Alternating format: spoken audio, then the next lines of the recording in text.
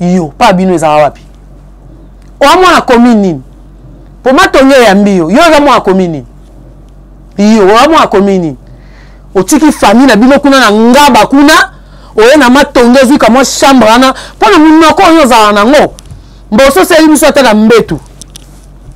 ta fille oyo vivete naolakisa genou nango omona genou nanga moke ta genou yo eza a ah. ta tali yo oza na libolongo oyo mpena bayembi mabolongo tosimba mabolongo yo mpena tala libolongo ya gaya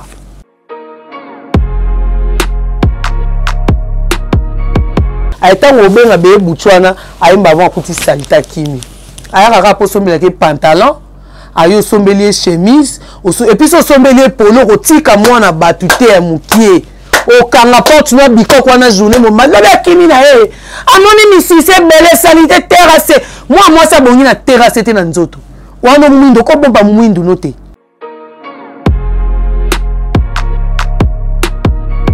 mukaya na oyo ya sous-vêtement ezala couleur nini mukaya mukaya mukaya place batyaka lingette silipi yayo ezala couleur nini mpo rouge no wana ebebisaka sous-vêtement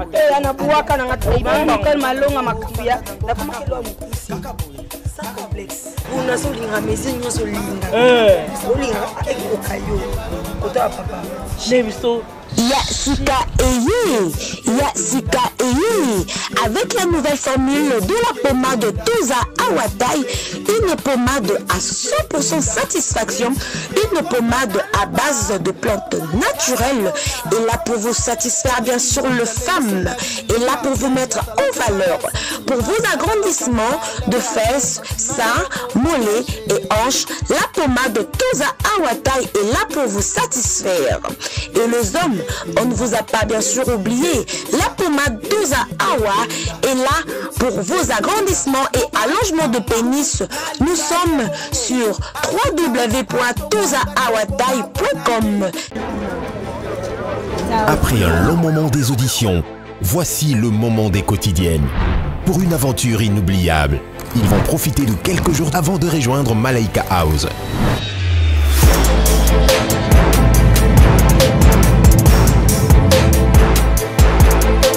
60 talents de Majabutalint posent leurs valises à Zanzibar, sur des magnifiques plages, une vie de rêve, dans un hôtel face à l'océan. Contre toute attente, nos talents feront face à de nombreuses surprises. Désormais, ne manquez pas les quotidiennes de Talint à Zanzibar sur YouTube et nos chaînes partenaires.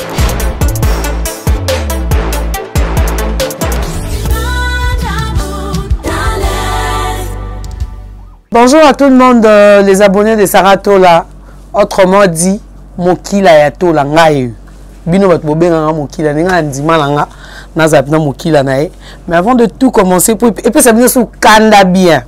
Je salue London City. Babi et Belé, il y a livre sterling en plastique. Bino bozora ya wapi. bozwaka oyo ya bapapier to bozwaka ya banani donc london city balivre sterline ebele en plastique donc ebele donc ebele bituluku wana london city je vous salue vous tous en tout cas bino bato oyo bolobaka na nga ko oyo yagolo ofinga mingi lelo mpena bolimbisa nga mpo eza droit de réponse napesi bato nyonso tu mbote na opesa bino badédicace na nsima dédicace ya liboso ezali mingimingi london city livre sterline en plastique polin mukendi mwana suka koyoka mpasi te derrière les caméras oyo ezoome nga makolo mpo na orépondre basi ya nduta eh? 15 basele nasengi na yo mpena olakisaka ngai bien fifete babe yango maguti maguti ya nduta to elamba nga mpena na yo répondre yo en tout cas bacommentaire na bino nyonso tu na ondima yango tous les abonnés nasengi bino pardon mais bacommentaire na bino nyonso vraiment na ondima yango parce que eza droit de réponse basimbi oyo basimbaka te nga nafingaka motu oyo adénigre ebembe to motu oyo aye na lokuta na loba oyo oza mais lokola mayamba yo mbebo 1 kilo 500 ya mbisi ozwi courage oleka mama bafazer ndako ya bicok 1 mètre carré mama bino afandaka wapi je sali tout le monde de ngaba côté plus plus libuluma nzengele mema ndako ya bia eza yosko mama no azala na ke lupango olala wapi ngai andimi kifazer na ngai sikoyo yo olalaka wapi na prefere nalala mpa na biso to nalala na permanence to nalala na bandako ya, ya, ya bato oyo bakoki oyokela nga mawa ke nalala na 1 metre ye olalaka wana otie matla na se na ntongo otomboli yango ozwi deki terase ya moninga na otie na salon asala emission na kati ya ndako na oti yo okoka obonga na vie sala emission na kati ya ndako na yo vivete ta makolo na nga nalakisi yo bamole na nga nakala likwanza te tozela deuxième étape nde tokokota awa mpo ngai asala bemeso na bapolo tanga eza te tanga rien tanga mwa moke kaka eh. eza te boyo tanga ta nafiya makeup te natya maquillage te nayebi nde badesina crayon te natyaka rouge à lèvre na poudre nakata suki kasi boyebi ngai mais lokola london city esengi tellement balivre sterline ya ebele tellement mpe na leki ya bana poto moi je pas de famille au village hein? yo keba keba makasi olemo kotia mibali ata ya ba 24 ans na ndako ti ta fille oyo alala alala libanda 48 heures mpo azala mwana 18 ans oyo aboyi ye mwasi ya babuchu zo garçon mokolo aoza mobali na yo akenda na ye alinga mwa moke olalela mwa bato ya jeune fille nzala na matonge luke kote ni baozala ta motu kisimbi otya suka baperika minene obakisi double kisimbi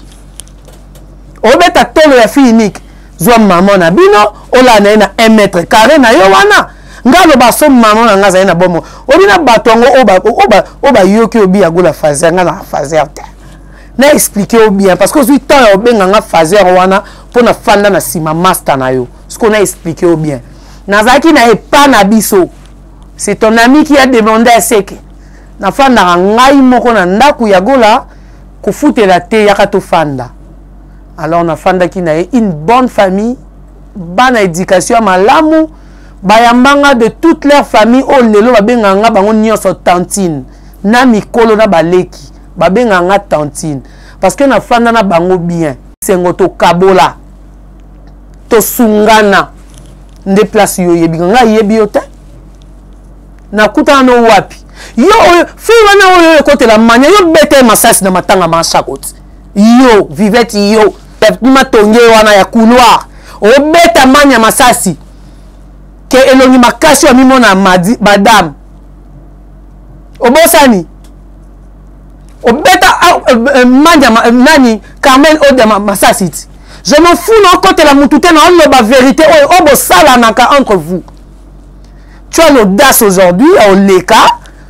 ozwa courage ya oloba ya gola olobanga avant olobaka nga sisa nduta nyonso eza ya nzoto na yo tafi ya nduta opakola nini yo nga tya produit te na moluba napakolaka mafuta nyonso oyo ba basi bapakolaka epuis yebike nakomi osomba mafuta kaka ntango nakokisi ba 30 ans awa nga mna nakomi na mafuta mbili okalinga yango makasi otye citron opakola yango na nzoto ta nayebi tioko te nga nayebi batasha noire te ngai nayebi tioko te na na bana misato yo bana no batanga wapi ma fille ene ya 19 ans aza université na deuxième grade ya économie mon deuxième fils pas son deuxième co na moamba mwana nga suka asali tena fep na moamba yayo batanga wapi mwana ashege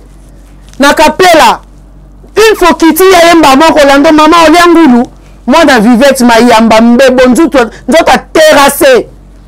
terasa baningi ezalaka ata couleur moya ye rouge misisa ya vert liboko monene moko na genou omoi genou ta genou nanga ta genou nanga yayo eza awa nayebaka te so batya mabanga na kati na genou na oyo na cuise oyo ndenge moko so toye awa na libumu ozwi place babiloko ya bokangana na libumu wana oniemi yango makasi nanga kuna bota na bacésarien tala namelisa trois fois tala boyo mwana suka aza wapi afanda wapi ndako mwa bien te ozwi audace ofinga ya gabi na émission mwana ba deux semaines passé ozwi basako obambi yango na mire moko boolakisa batete ya baperike lakisa mbetu na yo lakisa kanape na yo lakisa dra na yo ya mbetu d'abord olalaka na dra nini yo omonanga nayambi ofutela na matonge na hotel nafuta 10 dollars par jour ça veut dire je paye 300 dollars du mois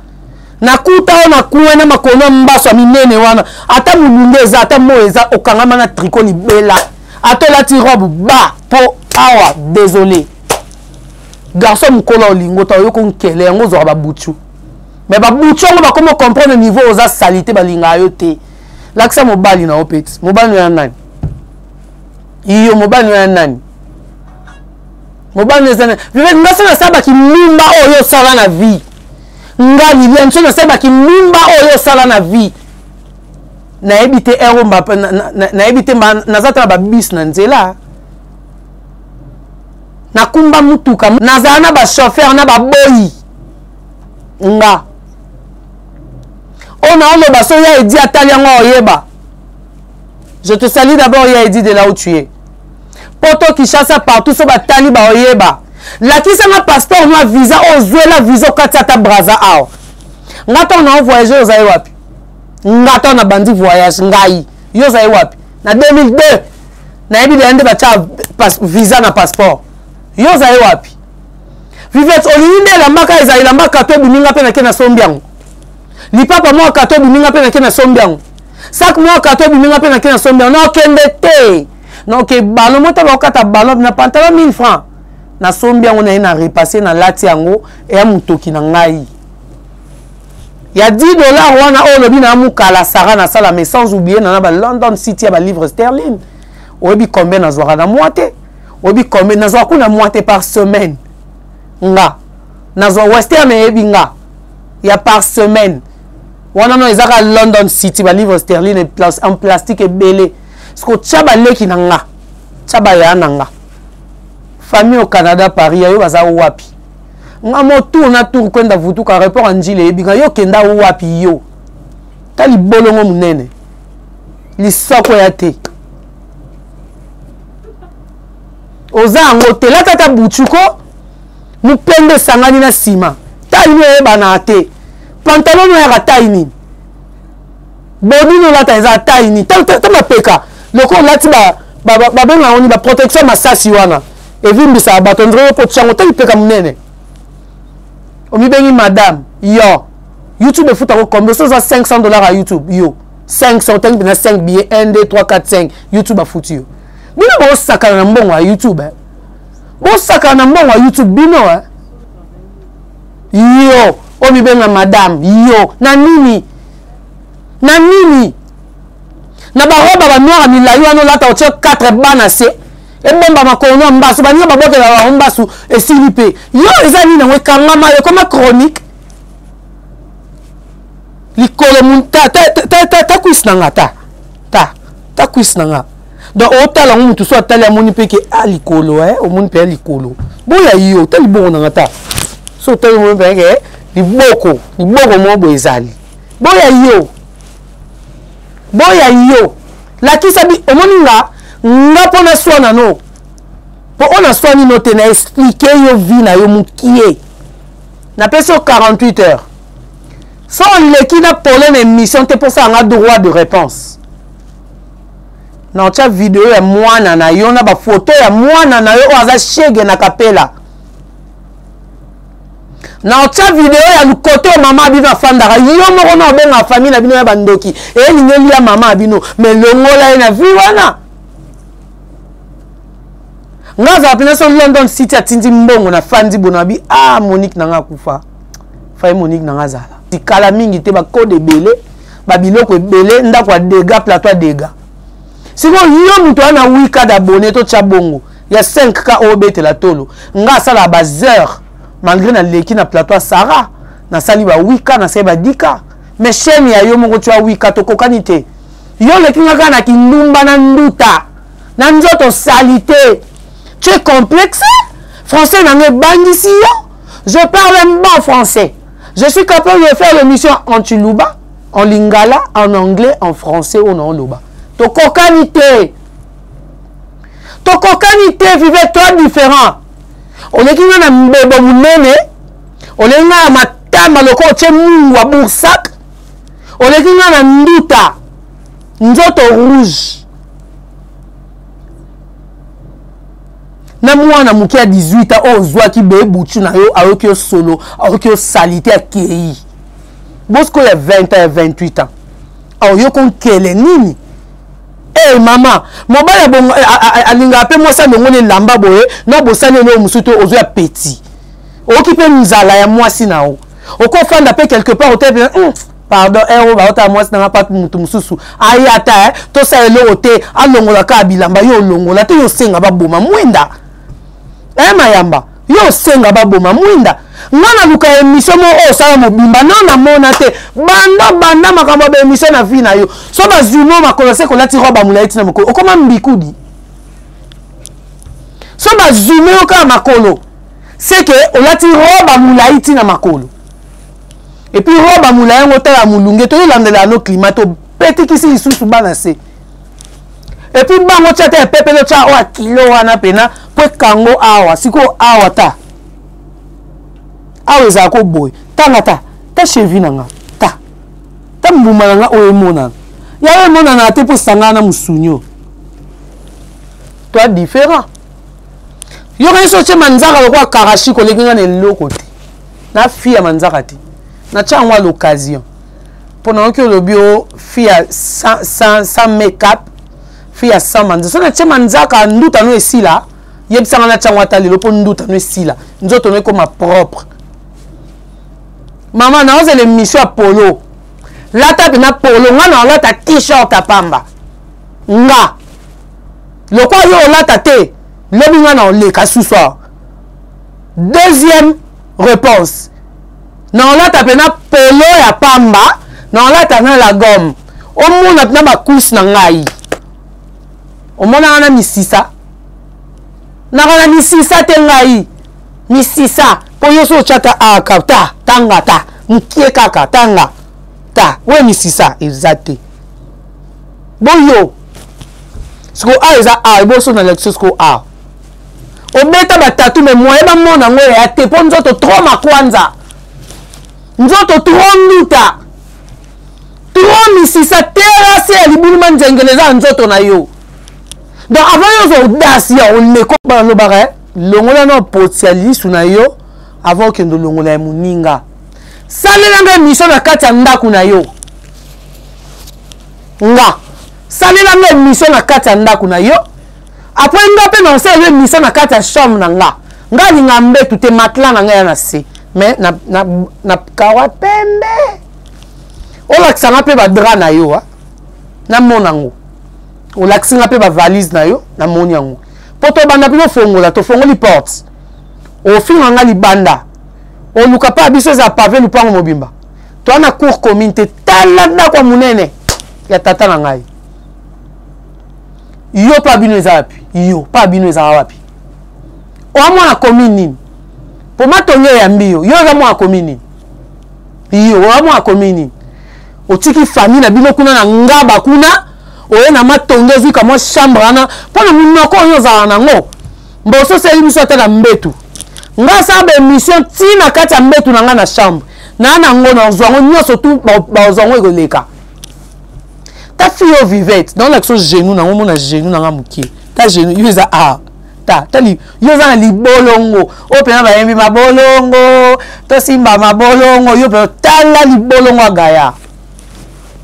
nga na kamwe lelo soki okoti mambo ya mania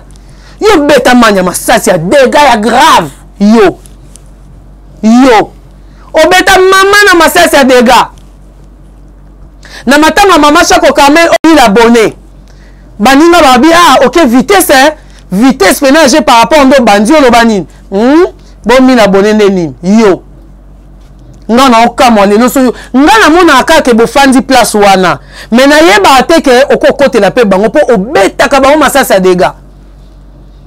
obetaka so ofandi deja omela xl nona na tanche boye ta ata na chana nati na mapembe ata na tie boye crayon nini na ngai nde ezwi omoni rouge à lèvre na ngai etikalaka te ya yo ekau ekau oyo e, e, emata ko ntina misuni ntina mibebo awa epanzani yo mbanga awa mobimba aye ntango obenga beye butu wana ayemba avant akuti salita kimi ayaka kaka mpo osombelaka ye pantalon aye osombeli ye chemise epuis osombeli ye polo kotika mwana bato te ya mokie okanga porte na bikoko wana journée mobimba lobi akimi na ye amoni misisi ebele salite terase mwa mwasi abongi na terase te na nzoto wana mwindu okobomba mwindu no te okobomba mwindu no te oluki ka otya tshoko opasuka no terase talanga boso nakomi opakola mafuta wana soki eh, oyo oh, oyo oh, oyo oh, tola asala wana na soki arnini anobote na okoma ndeni mpo oyo napakaka mafuta moins cher mwana bato alembi na ye akimi nga so nakomi sikoyo kopakola anobote na okoma ndeni mpo na opakola naoka mafuta kinshasa sikoyo ape london city lisusu bakoli ezoya tentire ebongamaka se nga nayesa bino nga naa na corbeau yo siko corbeau no eza nduta corbeau na yo eza rythme te rythme te mais bongisa nduta na ye parce que yo oteka mafuta ti ye abi que tu travaille chez elle ye moto apekisi yo osala bavideo te ayebi so kanga mbanga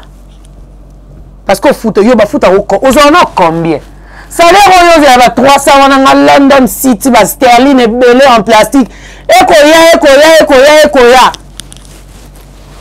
nde eza boso mpe na sisi émission nde naosilisa bosusu western livre sterling kuna agence yango etuna ngai liliane moto oyo aza mobali na yo aza ndeko na yo to aza nani corbeau un corbeau qui m'est venu au ciel ekiti ngai mpe so jour ozwa mama na plateau ya dega ya gola lokola bolingi bobanda oyeba bamakambo na nga sikoyo naloba ozwa mama na plateau nga nayesa bino nga na osala na nga chaîne te mpo nakoki nanu te sikoyo lokola naa na london city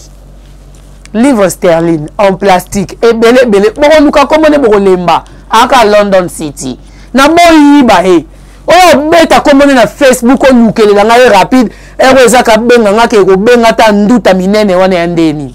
nomeka te oyebeka bongo livre sterline en plastique london city ya bien ya molai mbinga zor bongo yo nani bebe buchu 18 ans oza mwana bato ya mine yo oza moto mpe bafundo ke prison hein? yo faut ke prison mpo garçon na na 18 ans faut garçon na nzambe nanga pourtant naotanga bakombo na bino yango bomona lokola na te naobanga bino naokota ya bino naopesaka baexemple ya, ya, ya baninga na yo obi oza responsable ya famille na yo parce que tu es fille unique zwa exemple ya carmen odia azwa responsabilité baleki na ye abundaka ye mpena na ndimaka ye mpo motoki elongwaka leki na ati bien ketya bien baotanga baoyo yo bashege na kapela yo mama bango olala na 1 mètre soki otie 1 mètre carré ya monene 1 mètre olala na matla so ntongo etani olongoli matla wana otomboli yango filiki yango dra kaki ozwi bakiti ya bato ya bara mania opetikisi yango na ndako na yo olamuka ntongo ava bapaya baya otomboli ya mbetu mwa olala pongi ya boya te mpo fokitisa matla wana na se nga sikoyo babengaka nga ti na video baotala mpenza ke nalali na mbetu boyo yo mpenza nde oza mayamba sana video moko ya ndako nata ya 5 secondes mpo namona carmel oyo dayo alingaki émission azwi mpe asali image ya ndako na ye mbetu na ye kiti na boyo yo mpe salate yo osala te place ani osala baémission eza mpa na yo ya terrasse mani afutelaka ti ebo sa liboso ya ndako na yo fongola porte na yo olakisi barido na yo okoti osali kuna mpo nini bowangana baepa na bino nga mpo ya biso ata ezali place mai etyela na se ebima mai yango ata nafingaki ebalela ye mama bango epa bango bongo yo ebongo yo mayamba akoyamba makambo ya bato bongisi esika olalaka olalela adra nini yo yo olalaka na adra nini yo olalaka na adra nini nga na estce nga mpenza kaka nde nabona leki yo yo oleki nga kaka na bilamba ya kato oleki nga na kindumba oleki nga na koyeba koloba te oleki nga na lingala bakanza mpo na français otelema te oza kasi comme papa d'accord je, je sais je sais wana ni epuis na tonalité oyo te mpo eza tonalité na yo te eza tonalité na nga namoni koya fille complexe tu es complexe sikoyo ozozwa ata oza ata complexe na mamu na yo oloba ocomplexe na français na nga je parle un bon français parce que je viens d'une famille très bien édiquée mwana biso asuka wana alandi nga afanda na canada na mokanda etonda plein Sixième du nom Junior Mwanza Motema Sylvie Chipamba mwa suka na biso El Chanto Mampuya mokolo na nzoto abaya mike lokola Diego Bilito kala mingi te ba 40 quelque toujours au Canada bango nyonso bana bango kuna triple mpe kabeka bengele mon troisième de la famille babi paris nde makambo autrement appelé le représentant légal de kasamoto motema aurélie bindila yo leka mpo tanga ndeko na ata moko chimle le boss moto asimba wileri ya na ngai il travaille quelque part ya mbongo ebele mon grand frère le deuxième de ma famille qui est mon père jimmy chipamba towuti na ye mboka oyo ngai nawuti biso moko toboyi tobi toye kishasa yo soki oleka mpe loba vivete mayamba terrasse awuta telle place ngai ngai ntango naoya kishasa bajournaliste baoyo ozwa ngai na aéroport mpo ifo na répondre wana na atake fort baemission nyonso tu eza nana olakisa mati olanda nga na émission oyo mati ayebi a journaliste ya liboso ayamba nga na émission na 2013 voyage na nga liboso mpo na ya kinshasa banda na kenda mpo na ya kinshasa yo kenda wapi nga nzela matadi nayebi na nga te nakenda ye braza point noir gabon service de travail yo okenda ye wapi bino babengaka bino mpona partous nga babenga nga sa partout te tafi ya partout oyo na otanga bakoma bamibali basala na bino ba partout eh. nalaka bino ke bobenga sara nalakisa bavideo mais eza na baparent mpe babenga nga liliane pardon bomba bango mais vive je te dis mpo nga notoswa na tika partout nga ntina okufa na nsango te j'ai 36 ans d'âge naa na mobali te ta niveau ça veut dire na oconcentre vie na ngai na olinga kaka te mpo nalinga bamoni ngai nazalaka na mobali te na olinga te kaka mpo nalakisa bango ke te bango bayaka mpe na mibali na bango ntango bakutana na balise bosangani nga mpe naye na mobali na nga non sikoyo nga naa na corbeau autrement appelé london city ya bino bazalaka wapi vivete ya makasi oyo mpo napesa conseil longola mwana okolala na balabala po moyen mpe mwana yango alongwa na balabala ya olala mpa na yo eza te mpo oza na bikoka ntango mobali na 18 ans oya olala bo mwana na 18 ans ozala wapi mpo yo mpe telmo oza na baposa banzoto moko ya kindoki okozwa mpe mwana akoma mobali na yo me baorpheline ezali loko ozokoka te okosenga na baorphelina ata euh, euh, nani euh, euh, comment il s'appelle bellevie azui mwana oyo atie na orphelina mpo yo parent yo incapable ya obokola mwana na yo comme ça kuna aliaka mpo eza digne te mama monoko ebele me mwana shege mama monoko ebele mwana oyamba bato papa ngulu olia ngulu epuis ngulu ya ye te akomisa oka na mesa na ngulu azwi mwa pourcentage emsu mwa 4 misuni mwa boye ebima kuna sara tola oyo ofinga bana nde babanda ye classe lelo na ntongo bana ngai babandi classe lelo na ntongo baoyo ayebaka ke classe bokoni osombeli bango deja uniforme nayebi te so bayebi okoma ata bonjour nayebi te ata yo so oyebi osala lettre demande d'emploi otindanga na kesa na, na, na, na bachaîne wana otanga ekombo je m'intéresse pas là-bas na préféré te est ce que so nasaleli na bachaîne wana tv na ngai nakuta na london city te chaîne wana osenga ngai ya batv mpona keloba français wana na ngai namona london city te london city yanga amona ngai te grâce à cette chaise Grâce ya crash oyo nasalaka na kombo na nga mo Liliane. Je vous dis moi je ne travaille pas chez Tola. Nazaka na, na, na jour na heure na ngai. Eza plateau na nga. Je vous dis vous ne savez pas si on a foutu à 10 dollars ou 5 dollars pour que je passe. Ça veut dire Sarah ne m'envoie pas. Une chroniqueuse tout fait doit connaître le vie. Yabatou. Parce que quand on est au loba likambu normal, il faut y je parle de quoi Voilà pourquoi je passe toujours aux interventions quand il y a des mensonges. C'est de même que j'ai attaqué Yagabi avant. Parce que les gens ont dit que c'est grâce à elle que Diana est partie mais suite ya kolanda mwana na ye interprété ce qui était vrai je suis venu dire pardon à gabi et elle vous a montré qui elle était grâce à qui la voiture n'est bon yo fa lui oluwa ta catch, na victoire yo fa oluka ata kech mpo kech aya kaka 10 dollar une heure du temps kobimisa corps ya diana esenga ye 2 heures du temps tolinga olue kech ofandisi mpenza chauffeur wana ke te fanda awa zela ngai ti toobima bo obima nanga bamona mpe mpo soki okei na sende ozwi motuka 20 dollar oyo esengi bango kaka une heure bakumba yo bakumba yo fi ya moto obangaka te makono minene na na moto mpo okodendisa chauffeur ya bato un bon libulu abukani likolo po likolo oyo no eza 100 kilo boso otye deuxième ozusi ko libolongo na yo libolongo oyo libolongo oyo bula donc eya lokola 7 bula fufu libolongo lata kilote ko mama lata kilote olati kilote mpo nde oza bongo na ndimi meme mpa kolata sous-vêtement mpo eswa yo yo fo olataka baba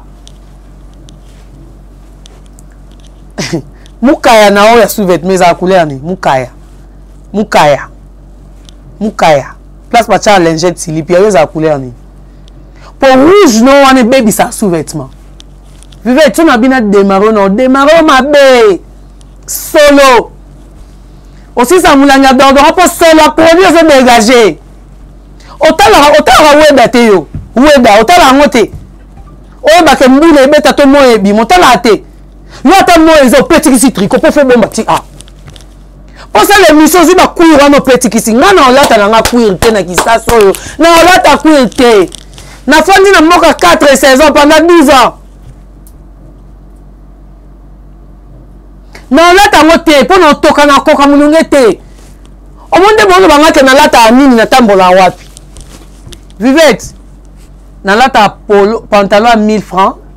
nalati polo ya 500 francs mais je suis représentable devant les gens jour tokunda matanga ya, ya, ya papa ya sona papa ya bekam olata nini yo moi makasi tala triko ya mauve ozwi sikoyo abuja ebimiso triple kisimbi Vraiment batu oyo bolobaki na nga ke na ofinga mingi bolibisa nga mpo nga mpe balobi na nga fo na répondre je n'ai pas le choix nalekaki nasengaki bino pardon ke na oloba te mais je n'ai pas le choix banda na otya crayon rouge à lèvre ota oyo oh. tyango moni so otye mwa mu otye mpo ya yo tyosi se émission lokola mpo ozala na masebe ndambo ekita tazolo na nga on dirait babenda nga eh? me babenda nga te ya nga o mama na nga abotela nga yango ta misu na nga natyaka crayon te bosiko so na mesani otya eloko moko boya mwindo oyo otyaka na se mpo ebenda misu no wana yango ekoma ndenge nini makiki na nga yango nakataka te je suis très jolie très belle yo sikoyo mpo obima nde obima wana ozwa mosala mpela na miroir ozwi nao kisimbi wana otya yango obongisi obongisi operse eloko moko boye a ah, evimbisi osu mbebo ozwi eloko litoi moko boye olati opo olata pantalon tanda osala mwasi achasse fo tya chasse na lokolo mpo okotisa pantalon mpo chevi oyo eleki minene eza a ah. mwasi alibolongo mupende eyebana te nsima eyebana te libolo yango eyebana te nyonso eyebana te nga na oyebana maboko na nga yango mole na nga yango oyo kwisi na nga yango libolongo na nga ta libolongo na nga libolongo ta nsima mole na nga pembe papa zume nga mpena awa ta ta nsima mole na nga ta nabalukeli mpena bien mpo ta bien ta boya yo boya yo mso baka ata sans tache sans likwanza sans mundelu boyo so totie awa terrasse libulu ma nzengele vraiment veye m'excuse na suka nango na bino nyonso tu babone bolanda napesi yo 48 heures il faut répondre nga asalela nga droit de réponse sikoyo nga na lekelo na polo ya pamba nga na ndo nga nzo yo ba nga na tala na mobola na fazer je l'admets naza mokila ya sara ndo lobi mais naza na bacorbo oyo baleki bacorbo na yo yo mpo ke western fo rita tindi yo 50 dollar nandimi te youtube afutaka ata 200 so otandi 300 na mesa mpo oza mambo malongo olobaka te osalaka makelele moi je comprends pas omoni ngai ngai qu'est ce que tu dis les gens ne comprennent pas moi je t'explique calmement doucement et trop tendre encore britanité oza yango na émission nde britanité oza yango na mbetu so tozwi su nduta totie tozwi mal odeur totie maaple kobeta toyo tosalisa nka ta baka na nga ya kiboyo nasalaka pa sarage combien de cas ça fait combien de temps depuis nga nazwi plateau na nga crash même pas un mois mais je fais combien de cas il y a toutes les émissions combien plus grave encore na gagné london city livre sterling en plastique mbongo akuna ezalaka plastique wana ato fini yango boye lokola fufu so onyolisi yango ezongi sikoyo yo sikoyo yo vivete ta foto o kamwe tala foto o ta ta nduta ta ta nduta awa ah nao babwakelaki ye mbasu te eh? likolo ezali nao na se sikoyo foto oyebi moto otindela foto oyo moto oyo otindela foto oyo oyebi ye ta ta nduta te kai ta ta yo mpe na boye apres oye olobi na ngai ta yo ta salite solo omoni nde nalakisi yo sikoyo naoyeba video ya mwana nde naserve nga ngulu na kapela naoyeba na batemoin oyo balela bandima te kaa mwana na yo obeta mabolongo kuna mpo na osenga ya gabi pardon otelema okoka te okoma obunda fo nalakisa ndoto otelemelaki okoma obundana tanga so na tie bono otema mbaa moko boye nasimbeli ote ta yo so obeti mabolongo oyo oh, kotema eza kilo fo bundana otie boye ozongi boye okwei boye e eh, yaya oa bien te pardon vivete oa bien te makasi donc euh, à tous les abonnés qui nous suivent de saratola na suka na wana osenga bino kaka sorry mais je suis obligé de répondre comme ça nazalaki vraiment obligé à répondre taka london city apesaki permission je sali london city livre sterling ya ebele en plastique soki nabi e, non e, wana ya ebele en plastique basi babenga bino mpena babengi bino moto awa na mashine aolakisa balivre sterling aobimisa ya gola nasombelo nini tokokani te zwa bana mike wana eh? ya ba 18 ans babebe butu okezwa mwana bato ya moke akumba baki baki nayebi te baki baki motuka oyo ezala polele na nsima wana se en anglais ya na français nayebi te baki motuka oyo ezala polele na nsima mwana bato amema bakoli ya bato ya mosala na se yo ozwi mwana wana akumba deya motuka bongo amataka yo ntongo ti pokwa na banduta no wana akokosala mosala te akimi na yo komona ele nzala oluki azongisa yo bilamba nosombele ezalaka bongo esalema wapi esalema wapi lobi na na omoni soki naolekelo na polo na na garçon na na plateau awa naza naye na plateau awa kontaka leya 48 heure lokwa mikolo okomi na, na, na mutu moko boye mageni ya soki basecurity call wana ya kuna center nayebi te peut-être koko oya na ye securité wana atambola nao na matanga baninga balati bia yo, yo ta boursa kolata ina moyi wana eh makolo ta ta ta ta ta, ta eh lata talent nga ningo lata talent chaussure pina talent po nga ta na leka ah na polo na lata chaussure na olata mpe na chaussure na otamba mpo nalataka deya talo so omonanga mpe olataka kaka mapapa se mpo okoka te likolo mbasu keba nakebisi yo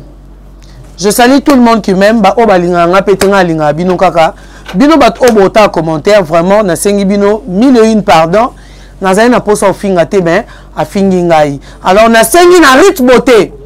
mwana mwasi wana abi osalaka epa na ye apekisaki osala video te alors zwa mafuta na yo oyo eyebongisa bato loposo wana Opesa ye elongola ye nduta po nduta naye ebandaka na matama na kingo partout nduta eza olongola vraiment nduta wana s'il vous plaît nduta wana elongwa derrière les caméras c'était 15 basele vraiment moyen atanga kombo ya bebe buchu ya bato a eza te bebe buchu merci mpenza na photo osungi ngai ya vivette mayamba nduta oyo en tout cas ingénieur euh, 15 basele nalingi otika nga foto moko oyebi foto wana ya, ya sara tola oyo alata robe na mokuse mabolongo na ye emonana mpo mabolongo na emonanaka mola na emonanaka chevine mpe emonanaka donc otyela nga yango nanu tolakisa mpo nga nalakisi deya mabolongo na nga na chevine na mole na nga nalakisi sikoyo ye mpe ifo alakisa oyo ya ye mpo sara deja ntango otyela nga yango bato baotala mais bebe butu vraiment merci beaucoup ndongo osuki nga na foto ya, ya baterase ya, ya, ya mama guti mayamba nzu, nduta ngai nayebisaka bino na mwana bima soki oluki ngai na molili na obetolo 3 misapi bima bima bima 3 fois ntango oya bo nazongeli yo ngai nde bato mosusu baobo toyebi yagola yango te yagola ngai eyo me nalekaka na baémission te mpo naoluka bavi te naleka na émission ntango lokuta moi eza ngai na leki na éclaircir soki okomo biso ntango toloba bavige ozwi odasi ya kofanda makolo baolakisa te misapi no bahotel wana minene evimba nayebi te 15 basele nalongwa ntina sapato bamona mpe misapi na ngai to ndenge nini wana namoni baboyi donc wana natiki vraiment nalobi ebele mais makambo mo très important tika obeta baninga no bandika makambo ebele ngai afingi emani eza makambo oyo oloba na matanga makambo ebele oyo ngai afingi mania eya eh, makambo oyo ngai alobeli na matanga présentation okendaki oyaki kotyola yango ngai nafinga emania me ndenge nesi yo lisusu ndenge esali osu mpasi to mania obengana oza tala change micro ko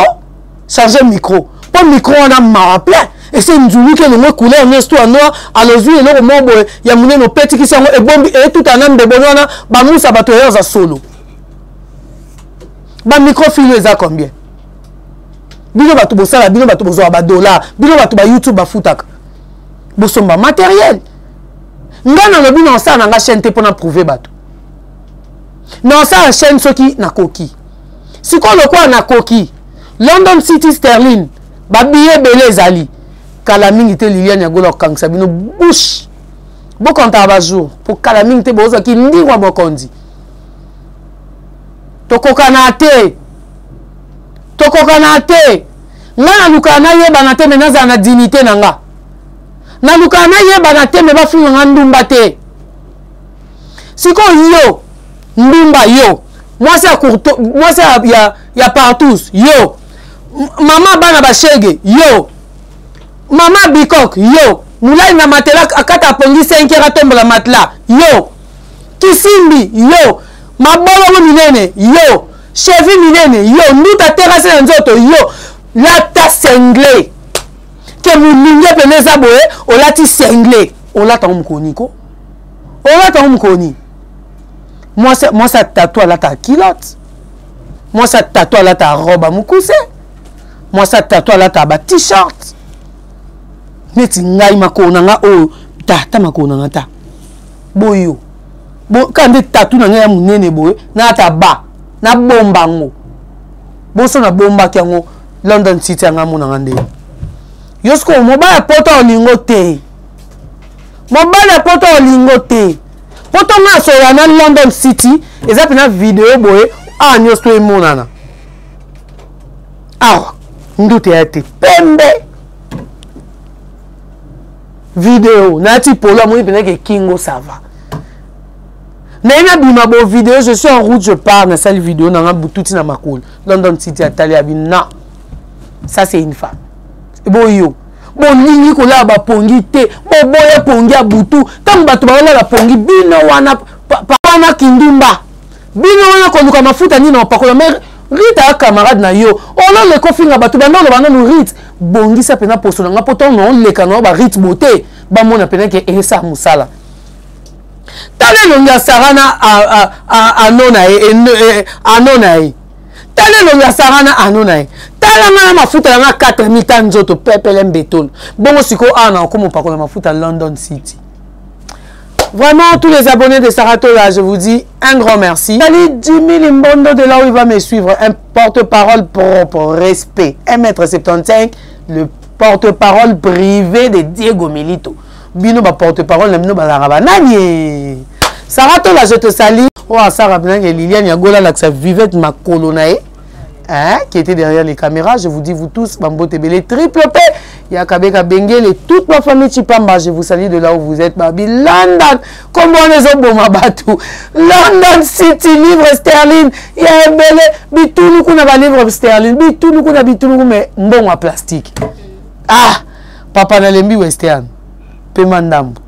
mangai. Je vous dis bisous et au revoir avec une entreprise, boutique, ONG, église, restaurant, chaîne de télévision, parti politique, école, université et autres. Et vous voulez que tout le monde soit au courant de vos activités avec Mount Technology, nous avons une solution pour vous. Nous avons la capacité de vous rendre visible dans le monde entier. Nous allons créer pour vous un site internet, une application mobile Android, iOS, chaîne YouTube, une page professionnelle de tous les réseaux sociaux sécurité informatique, ainsi que le marketing digital. Et nous allons monétiser tous vos services afin de vous permettre de gagner de l'argent sur Internet